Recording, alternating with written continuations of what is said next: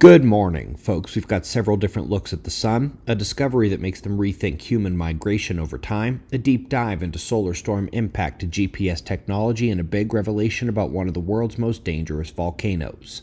Let's start with our star, and we find the last 24 hours was very calm. We've had no significant solar flares or filament eruptions, and the solar wind is quiet, as well as geomagnetic conditions. It's challenging to see the coronal holes here, so let's pull them up in 211 angstroms to see the large but fragmented complex extending up from the south polar crown. It's likely these will provide enhanced solar wind conditions as we enter the weekend. The brightness on the incoming limb is the appearance of new sunspots.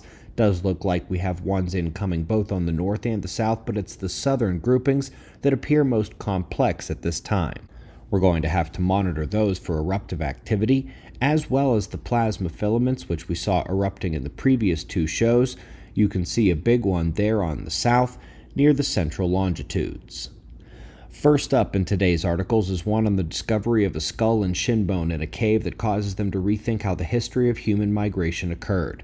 They date the items to around 86,000 years ago, which means that humans would have gone through the Southeast Asia region fairly earlier than they had previously believed. Up next is a more detailed look at loss of lock problems, which describe issues with GPS devices and satellites caused by enhanced solar activity and the resulting geomagnetic storms. It's well understood that this happens, but the study further clarifies that the plasma activity in the upper reach of the atmosphere is what is driving those technological issues. Lastly, folks, we have said for years that one of the scariest volcanoes to watch in the upcoming disaster cycle is Campi Flegrei in Italy.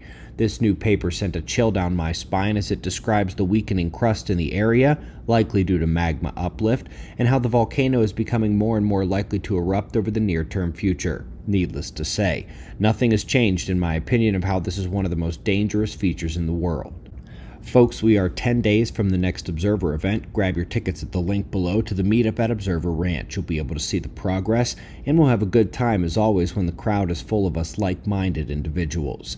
Those tickets and other resources can be found at the links below in the description box. We greatly appreciate your support. Subscribe, and we'll do this all again tomorrow. Right here, but right now at 6 a.m. in the new Valley of the Sun.